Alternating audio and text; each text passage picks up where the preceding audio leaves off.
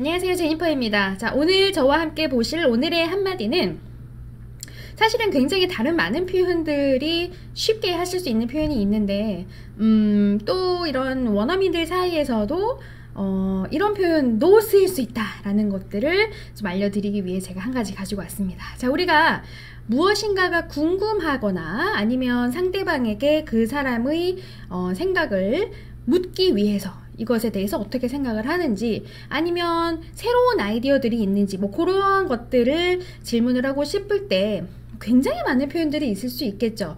아주 간단하게 What do you think about? 뭐 이런 식으로 가실 수도 있겠고 Can you tell me? 뭐 이렇게 시작을 하실 수도 있겠고 굉장히 많은 표현들이 있는데 또 이러한 표현도 있습니다. Can I pick your brain? Can I pick your brain?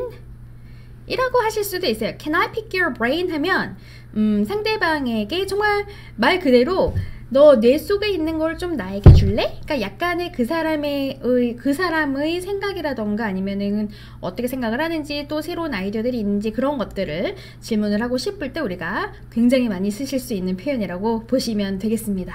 간단하죠? Can I pick your brain? 약간 잔인해 보일 수도 있겠지만 어, 말 그대로 생각하지는 마시고 그 표현이 아 상대방의 생각을 질문을 할 때 또는 그 사람에게 조언을 구하고 싶을 때 이제 그렇게 많이 쓰일 수 있겠구나라고 연습을 해보시고 적정한 상황에서 써주시면 좋으실 것 같아요. 열심히 공부하시고 저는 다음 시간에 또 뵐게요.